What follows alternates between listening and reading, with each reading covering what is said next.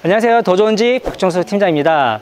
어, 오늘은 제가 한 일주일 전에 소개해드렸던 전세 물건 소개를 도와드릴 건데요. 제가 앞전에 이 왼쪽에 있는 세대 소개를 도와드렸어요. 하지만 이 오른쪽 세대가 이번에 완공이 됐거든요. 그래서 제가 또 샘플하우스 촬영을 위해 또 이렇게 나와봤습니다. 오늘 소개해드릴 현장의 뭐 면적이나 분양가 이런 정보는 영상 더보기에 다 기재가 되어 있으니까 참고 부탁드리고요. 바로 영상 시작해보도록 하겠습니다. 자, 제일 먼저 외관부부터 한번 살펴보도록 할 건데요. 우선 단지 앞 도로는 8m로 아주 널찍하게 잘 확보 가 되어 있고요. 이 앞쪽 도로 같은 경우도 10m로 연장이 될 거기 때문에 어, 들어오시면서 좀 길 부분에서 조금 민감한 분들에게는 좋은 소식이 아닐까 하는 생각이 듭니다. 자, 그리고 건축물 같은 경우에는 어, 이제 지하 공간을 포함해서 총 3개 층을 이용하는 철근 콘크리트 구조가 되겠고요. 방은 총 5개가 준비가 되어 있습니다. 지금 보이시는 이 건축물은 건물 뒷부분이 되겠고요. 제가 주차 공간부터 한번 소개를 도와드릴게요. 자 주차 같은 경우는 기본적으로 필로티 주차로 두 대 주차할 수 있게끔 되어 있는데요. 이 앞에까지 이용을 하신다고 하면은 솔직히 차량 네대도 충분히 주차 가능한 폭이 되겠습니다. 이 안쪽에 좀 전기 쓸수 있는 콘센트와 그리고 이쪽에 보시면은 이게 지금 수도를 막아 놓은 거예요. 그래서 이 공간에서 뭐 세차하시거나 이런 물 사용하시기에 굉장히 또 유리한 그런 공간이 되겠고요. 어, 이 안쪽 주차장에서도 뷰가 굉장히 좋아요. 여기를 뭐 창문을 시공하셔서 막아도 되겠지만 그냥 열어놓고 이용하셔도 여름엔 또 굉장히 시원한 공간이 되겠습니다. 그리고 이제 옆으로 돌아서 이번에는 진입 쪽으로 한번 가볼 건데요. 어, 한 가지 단점이라면은 이 진입로 폭이 그렇게 넓지는 않아요. 한 1.2m 정도 된다 하고요. 이 앞쪽으로는 울타리를 쭉 붙여가지고 한 10cm 정도 더 연장해서 예쁘게 또 마감을 해드릴 거예요. 그리고 이 옆에는 조그맣게 화단을 만들어서 어, 이렇게 대나무 같은 거 있죠? 그런 거 식재를 해가지고 조금 더 예쁘게 꾸며드릴 예정이고요. 자, 안으로 한번 쭉 들어가 볼게요. 자 이렇게 쭉 들어오시면은 바로 전실부를 만나볼 수 있겠는데요 앞쪽 요만큼은 또 포치 공간이 마련이 되어 있고요 자 안으로 쭉 들어오시면은 여기에 긴번 신발장이 6칸 준비가 되어 있습니다. 그 중에서 오른쪽 3칸 같은 경우에는 가운데 거울용으로 또 이렇게 수납장 처리가 잘 되어 있고요. 부족하시면 여기다 벤치용으로 수납장 추가로 놓으셔도 좋을 것 같습니다. 그리고 옆에 돌아보시면은 일가소등 스위치 보실 수 있겠고요. 전부 다 르그랑 제품으로 시공이 잘 되어 있어요. 벽체도 전부 다 벤자민 무어사의 도장 마감이 되어 있는 상태고요. 뒤쪽에는 이제 슬라이드 중문 네, 원도어로 시공이 잘 되어 있네요 자 안으로 한번 들어가 볼게요. 네 1층 공간에 들어오시면은 어, 방이 두 개가 준비가 되어 있는데요. 어, 제 뒤쪽에 있는 이 공간이 거실이 아니에요. 하지만 이제 미니 거실처럼 쓸 수 있는 공간이기도 하고요. 야 들어오자마자 이 온기가 느껴지는 게 너무 좋네요. 지금 보일러 세팅해 놓은 걸 보니까 13도로 세팅을 해놨는데도 여기 지금 실내 온도가 19도예요 밖에는 지금 영원하시고요. 그만큼 이 남양집의 중요함을 느껴지는 부분이기도 합니다. 그리고 벽두께도 두툼하게 잘 시공이 돼 있어서 그런지 이 단열적인 면에도 너무 좋은 것 같아요. 그래서 이쪽 공간을 조그만 미니 거실로 쓰시면은 이런 데 막 TV 놓고 쓰시면 될 것 같고 여기 PX 창을 통해서 이제 밖에서 소개해드렸던 주차 공간 보실 수 있습니다. 그래서 손님이 오시면은 어 누가 오나 이렇게 좀 이렇게 들여다보는 또 이제 그런 공간이 될 것 같아요. 아니면 추후에 여기를 문으로 이제 바꿔서 이용하시는 방법도 있겠습니다. 자 그리고 이제 이제 방 공간을 보여드릴 건데요. 제일 먼저 이쪽 공간이 붙어 있는 작은 방을 보여드릴게요. 자, 제가 작은 방이라고 표현해드린 이유는 이 방이 제일 작은 사이즈입니다. 하지만 여기도 남향으로 창이 들어가 있고요. 위쪽에 에어컨까지 알차게 들어가 있는 모습이에요. 그래서 여기는 그냥 뭐 아이들 방이나 조그만 서재 아니면 뭐 놀이공간 이런 공간으로 이용하시면 좋을 것 같고요. 자, 다음으로 제가 그래도 조금 널찍한 두 번째 방을 보여드릴게요. 두 번째 방은 전실에서 들어오셔서 바로 오른쪽에 위치해 있습니다. 자 이쪽 방은 방금 보였던 방보다 한 1.5배 정도 더 큰 것 같아요. 창은 이제 반대쪽으로 나 있으니까 조금 어두운 면이 있긴 한데요. 대신 뭐 잠이 많으시는 분들은 오히려 이런 방을 더 좋아하실 것 같아요. 각 방 온도 제어기 다 설치가 되어 있고요. 야 그래도 여기도 지금 15도네요. 그러니까 춥지 않은 방이라고 보시면 됩니다. 그리고 이제 이쪽에 건식으로 쓸 수 있는 세면대 하나 볼 수 있겠고요. 그래서 이제 매출하고 들어오시면은 또 바로 손 씻고 이렇게 들어올 수 있는 장점이 있겠어요 그리고 저 안쪽으로 들어오시면은 목욕할 수 있는 또 샤워대 보실 수 있고 변기가 들어가 있어요. 단차를 둬서 이제 건식으로 다 인테리어를 해 놓았습니다. 안쪽에 육각까지 깔끔하게 들어가 있고 외벽도 조적으로 시공이 되어 있어서 이렇게 뭐 샴푸나 이런 세안용품들 올려놓을 수 있는 또 그런 공간이 되겠습니다. 아무래도 방금 보여줬던 방 이제 동선상 가장 좋은 방이 될 것 같아요. 자 이번에 제가 위로 한번 올라가 보도록 할 건데요. 지하는 제가 마지막에 소개를 도와드리겠습니다. 올라가 볼게요 네, 2층 공간에는 생활 공간인 거실과 주방 그리고 방이 하나 준비가 되어 있는데요. 이 카메라 뒤쪽으로 지금 거실이 위치해 있고요. 제 오른쪽에 주방이 위치해 있습니다. 제가 주방부터 한번 보여드리도록 할게요 자, 이 주방으로 보시면은 이쪽이 dining 공간이 되겠습니다. 현재 6인용 식탁이 들어가 있는데요. 이쪽에 지금 window seat가 설치가 되어 있기 때문에 식탁을 옆으로 돌려서 사용하시면은 조금 더 널찍한 식탁 배치가 가능하겠고요. 야, 이 시트도 너무 좋네요. 이 뒤에 있는 전창으로 산세도 쭉 볼 수 있는 장점이 있겠고요. 어린 자녀분들이나 아니면 좌식으로 식사하시는 분을 원하면은 이용하셔도 될 것 같고 아니면 테이블을 약간 핸드메이드 제품으로 조금 연장해서 이용하면은 여기는 뭐 8인, 10인까지도 식사할 수 있는 그런 공간이 되겠습니다. 그리고 여기 아일랜드 같은 경우도 앞쪽에 이렇게 무릎 놓을 수 있는 공간이 있어요. 그래서 굳이 뭐 식구분들이 이렇게 많지 않다 하시면은 이 공간을 약간 식사하실 수 있는 이제 미니 홈바처럼 이용하시면 좋을 것 같고요. 뒤쪽으로도 이제 냉장고랑 냉동고 들어가는 자리가 있는데요. 이 안에는 이제 빌트인으로 김치 냉장고까지 제공이 되니까 요즘은 참고하시면 좋을 것 같습니다. 그리고 안으로 쭉 들어오시면은 자, 요 아래쪽에는 삼성 식기세척기까지 보실 수 있겠고요. 조금 더 들어오시면 광파 오븐까지 네, 빌트인으로 시공이 되어 있습니다. 그리고 여기 밥솥 놓을 수 있는 공간까지 마련이 되어 있어요.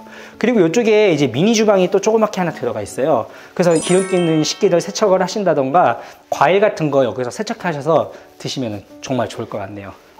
자, 그리고 반대쪽으로 돌아서 이번에는 제가 다이닝 공간 또 추가적으로 나와 있는 공간을 보여드릴 건데요.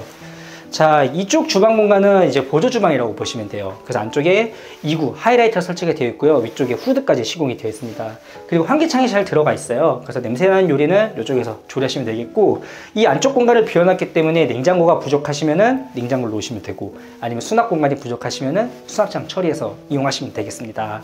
도어도 이렇게 깔끔하게 간살도 시공이 잘 되어 있네요.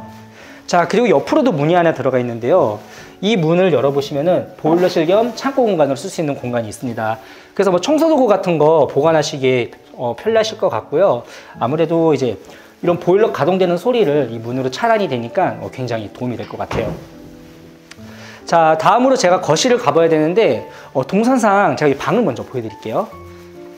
자, 2층에 들어가 있는 이제 방인데요. 어, 마스터룸이 되겠습니다. 안쪽까지 이제 드레스룸이 시공이 되어 있는 구조로 되어 있고 약간 디귿자라고 보시면 될 것 같아요.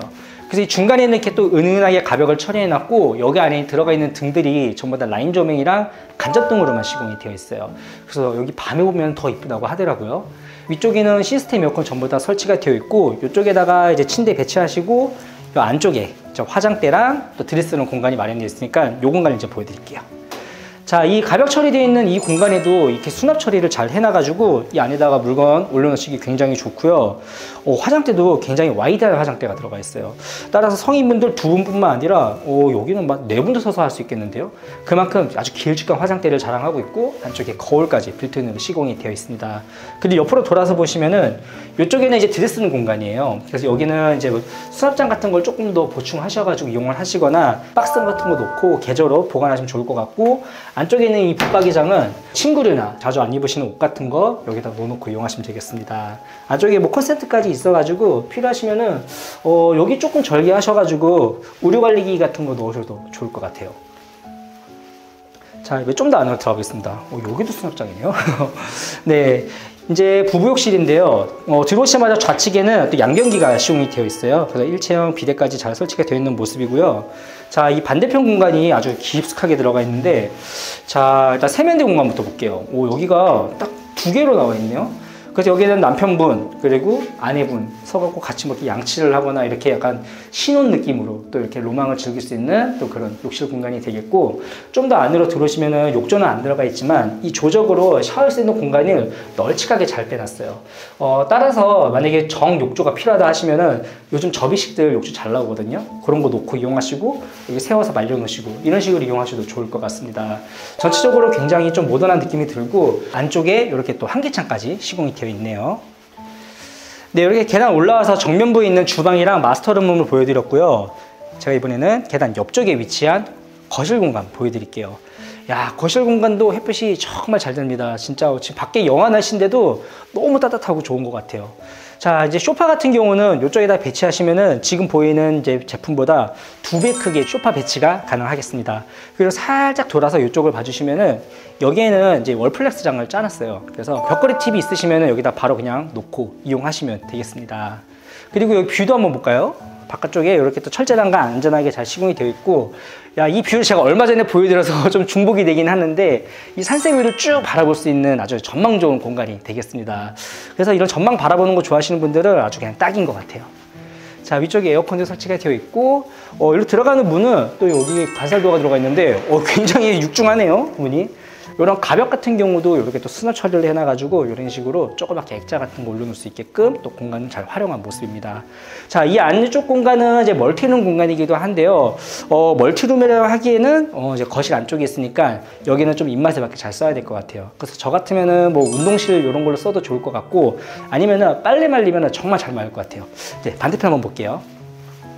제가 빨래를 말씀드린 이유가 세탁실이 여기 있어요. 그래서 문은 이쪽으로도 열 수 있고 이쪽으로도 열수 있는데 어, 여기 안에는 이제 세탁기를 넣으시면 됩니다. 그래서 세탁기를 넣으셔서 세탁을 끝내고 바로 빨래를 꺼내서 이 햇볕 잘 드는 이 공간에다가 빨래를 널어서 놓으시면은 건조기가 따로 필요 없을 것 같아요. 자 그리고 반대편 문 열어보시면은 이 안에도 또 주방이 들어가 있어요 그래서 애벌 빨래 같은 거 하시기 굉장히 좋은 위치고요 선반도 들어가 있기 때문에 세제 같은 거 위에다 수납해 놓고 잘 이용하시면 좋겠습니다 그리고 안에 환기창도 있기 때문에 이 문 닫아 놓고 밖에 문만 열어 놓으시면은 이 안쪽 습도 조절하시기도 굉장히 좋아요 자 그리고 이 옆에 이런 벽면 이 인테리어 요소도 굉장히 좋습니다. 지금 또 이렇게 벽돌로 또 조적으로 시공이 되어 있어서 어, 굉장히 좀 친환경적인 느낌이 들고요. 안쪽에 또 픽스창이 들어가 있어서 이쪽에서 보이는 산세도 바라볼 수 있는 그런 장점이 있습니다. 그리고 이런 조명 같은 경우도 굉장히 또 포인트가 되네요. 저는 거실보다 이 공간이 더 좋은 것 같아요. 네 이렇게 제가 2층 공간까지 소개를 도와드렸고요. 이번에는 제가 지하로 한번 내려가 보도록 하겠습니다 네, 이번에는 지하 공간 소개를 도와드릴 건데요. 지하 공간에도 이제 거실 쓸 수 있는 공간, 주방, 그리고 방이 총 두 개가 준비가 되어 있습니다. 제일 안쪽에는 이 멀티룸부터 보여드릴게요.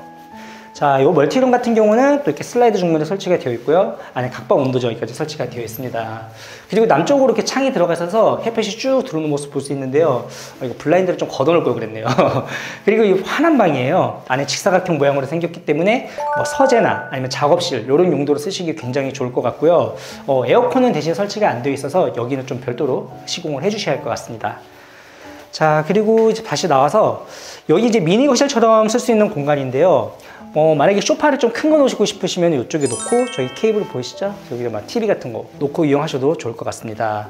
그리고 이제 외부로 나갈 수 있는 이 테라스 공간이 있는데요. 여기는 이제 옆에 있는 방에서도 나갈 수 있으니까 제가 이따 소개를 도와드리고요. 바로 옆에 있는 주방 공간을 보여드릴게요. 야, 여기는 지금 다 취사가 가능하겠네요. 하이라이트, 위에 후드. 싱크볼 그리고 냉장고까지 들어갑니다. 따라서 이제 약간 세대 분리하시기도 굉장히 좋을 것 같고요. 뭐 자녀분들이 조금 어 뭐 사춘기다 그러면 이제 밑에 놓고 알아서 생활하셔도 좋을 것 같아요. 이런 세탁기 같은 경우는 어 불필요하다고 하시면은 뭐 식기세척기나 이런 걸로 바꿔놓고 이용하셔도 좋은 방법이 될 것 같아요. 그리고 이 주방 앞쪽에는 욕실이 하나 들어가 있어요.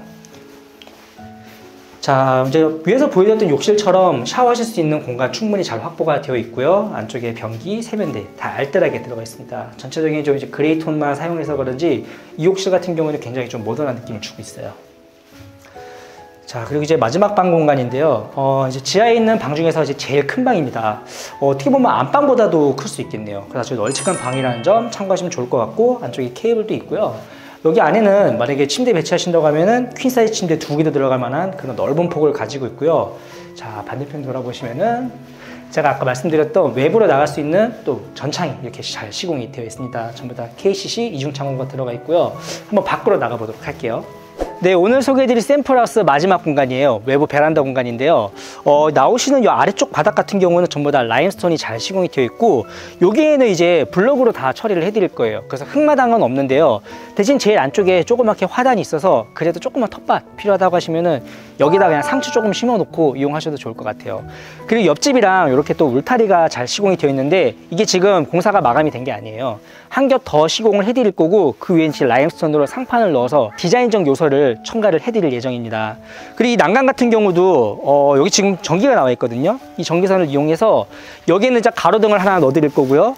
요 위에는 지금 라인 조명을 쭉 시공을 해드릴 겁니다. 그래서 밤에 밖에 나와서 보시면 굉장히 은은하고 엄청 예쁜 그런 공간이 될 거예요.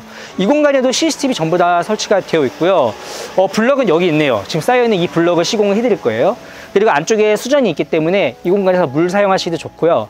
만약에 어린 자녀분들 뭐 수영장, 풀장 이런 거 원한다고 하시면 은 여기다 놓고 이용하시면 굉장히 좋을 것 같습니다. 아무래도 관리하시기가 정말 좋겠죠? 네, 이렇게 오늘 경기도 광주시 신현동에 위치한 단원주택 또 소개를 도와드렸습니다. 제가 얼마 전에 이 현장을 소개를 도와드렸어요. 그래서 분양가가 앞에 소개해드렸던 것보다 이제 천만 원 비싸긴 한데 전세가는 동일하게 5억에 나와 있으니까 어, 한번 꼭 나오셔서 이 다양한 타입들 한 번씩 쭉 보시면 좋을 것 같습니다. 이 샘플하우스를 포함해서 총 3개의 세대가 준비가 되어 있어요. 제가 지금까지 소개해드린 내용은 영상 더보기에 잘 기재가 되어 있으니까 참고 부탁드리고요. 저는 더 좋은 현장에서 인사드리도록 하겠습니다. 네, 그럼 오늘도 제 영상을 시청해주셔서 감사합니다.